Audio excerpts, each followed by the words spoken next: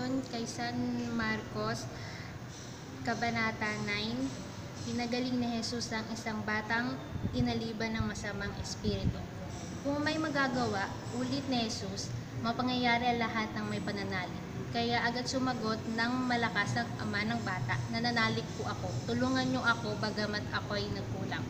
Nung nagkaroon ng sakit ang mama ko ng cancer, nawala nawala yung pananampalataya ko kay Jesus kasi alam ko na hindi na walang na walang naka, walang um, nakakagal walang gumagaling sa sakit na cancer.